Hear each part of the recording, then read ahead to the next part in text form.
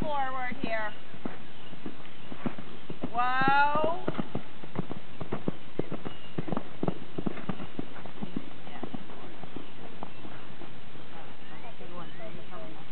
Now sit up. Do not go ripping through here.